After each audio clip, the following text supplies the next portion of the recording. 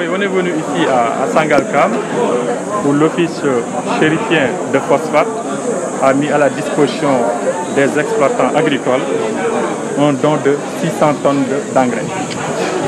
C'est pour tous les exploitants agricoles.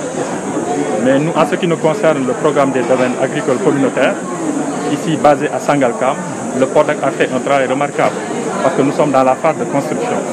Mais le PODAC n'a pas attendu que la construction soit terminée pour encadrer les jeunes dans le cadre de l'agriculture. Il reste évident que l'agriculture aujourd'hui peut être une réponse au défi de l'emploi parce que c'est un lieu d'insertion donc des jeunes. Mais naturellement, pour que cette agriculture puisse accueillir les jeunes et les y maintenir dans les terres, bien entendu, il faut qu'elle soit attractive, il faut qu'elle soit attrayante. Et pour ça, l'État doit mettre en place certaines conditions, parmi lesquelles il faut un accès au foncier pour les jeunes, c'est ce que le PODAC est en train de faire.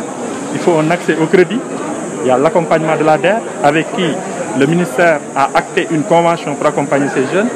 Il faut également accompagner les jeunes en, euh, en renforçant leurs capacités dans le cadre de la production, dans le cadre de la commercialisation, mais également dans le cadre de la transformation de toute la chaîne de valeur agricole.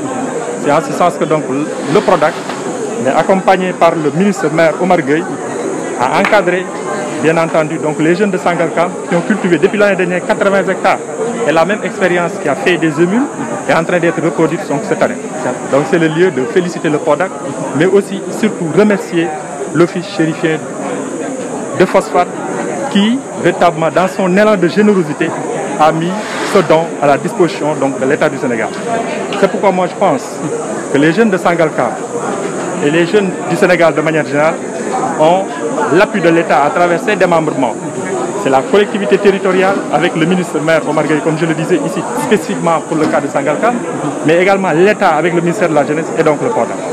Voilà, je pense que donc cet appui sera bénéfique aux jeunes et on a lancé un appel pour qu'ils l'utilisent à bon escient afin d'augmenter considérablement leur rendement, leur productivité.